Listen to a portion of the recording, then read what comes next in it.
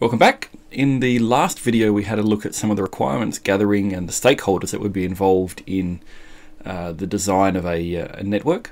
Uh, now we want to talk a little bit about the connectivity uh, side of things and there's a, a, bunch of key terms here that we need to, uh, to really make sure that we're comfortable with uh, as we start talking about networks.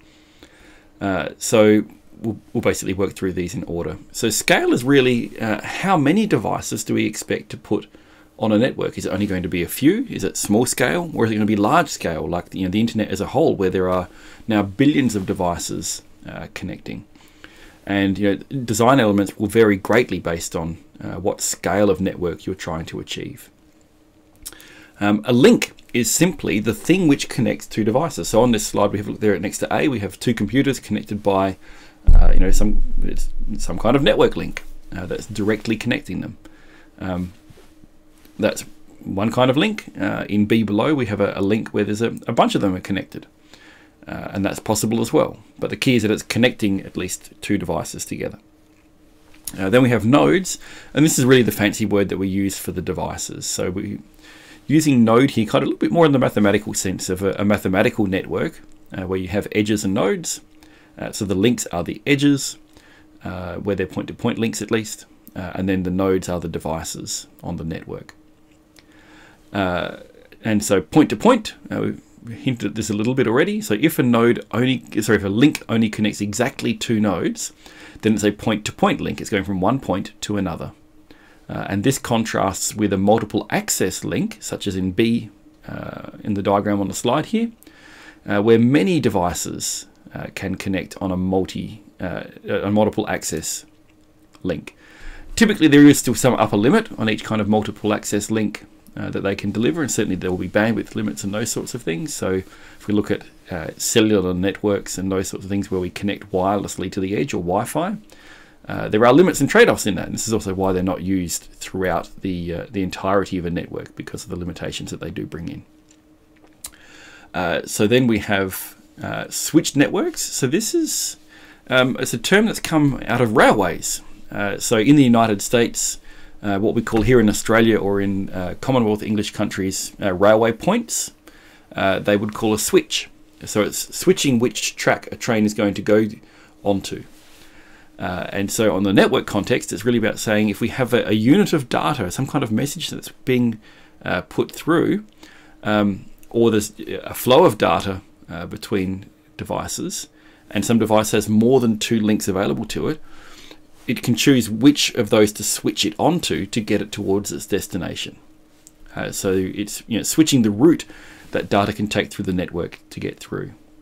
Uh, and we can have circuit switched, where we find a little bit more like the uh, the railway network, where you could set all the points in a particular way, and now there is a path where data can flow through the network to get to its destination uh, and that it's exclusively used uh, for that at that point in time. In contrast, we can have a packet switched network.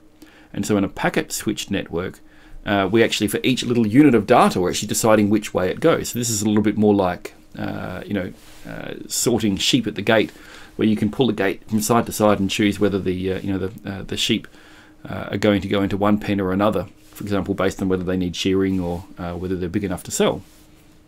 Uh, and so, yeah, uh, but to do that, we have to break down the communications flow from being a large stream into these little pieces, into messages, into packets, is what we tend to call them. A bit like in the, the postal service, you have uh, packages and envelopes uh, and things. So we have a similar kind of idea. We don't have to have a dedicated truck uh, or mailman that goes from my house to somebody else's house. We actually share that infrastructure uh, that you know the the packages, the packets, the messages, the envelopes, uh, the letters that need to get delivered get given in to some kind of uh, point on the postal network, and then they get sorted, switched all the way through, and they're sharing that facility with all of the other uh, people's post that's going through as well. So this is a much more efficient way to use the resource and it necessarily brings about this idea of store and forward in that the postal service stores your post while it's working out how to deliver it and then it forwards it to the next post office uh, to get it nearer to its destination until eventually that gets forwarded onto your letterbox at home uh, and so yeah it's very similar in that regard.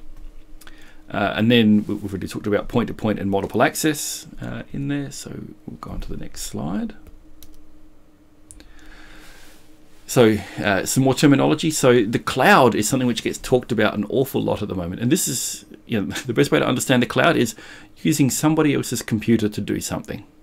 So that might be, for example, a large company like Amazon who purposely run you know thousands, probably millions of computers by now that you can rent use of uh, in order to uh, uh, to do the things that you want to do. Um, each device, whether it's in a cloud or just on the network at large, uh, is called a host.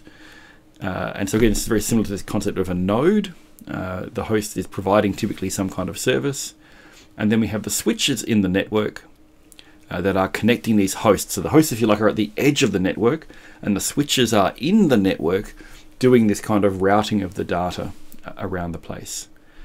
And an internetwork is when we have multiple of these networks kind of joined together. So uh, in uh, figure B here on this slide, you can actually see that there are three interconnected networks and there are these points of interconnection, these routers and gateways uh, indicated by the, uh, the round things with the arrows on them that are choosing where to send the data between these different networks. But in any case, what we want for the network to provide typically is host to host connectivity. So this is so that any host on the edge of the network anywhere can connect to any other host anywhere on the network. And to do that, we have to be able to address the hosts. So a bit like with the postal system, you have to be able to address a letter to the physical postal address. In a computer network, we need to put the computer network address. And that would typically be an IPv4 or an IPv6 uh, Internet Protocol address, but it could be a different kind of address. And with those addresses, then the system will be able to route the, uh, the packets, the messages, the packages, however you want to think about it, um, through the network by looking at them going, oh, okay, this is addressed to such and such uh, a device. That lives in that part of the network. I will forward it in that direction to get it nearer to the, uh, the destination. And finally, we can have um, communications which are unicast. This is like the postal system where it goes out to exactly one recipient. Uh, we can also have multicast that goes out to many recipients.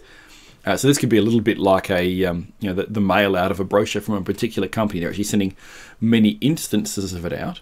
But on a computer network, we can be a little bit clever, and it can be introduced into the network once, and it can get delivered to uh, a whole bunch of devices.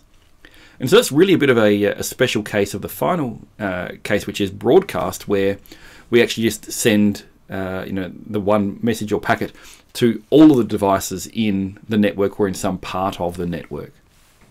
So again, it, it's you know we're looking at all of these different ways that the uh, uh you know the, the, units of data uh, can be sent around and delivered, and this packetization uh, to create generalized networks is one of the, the really key strengths of these uh, digital computer networks.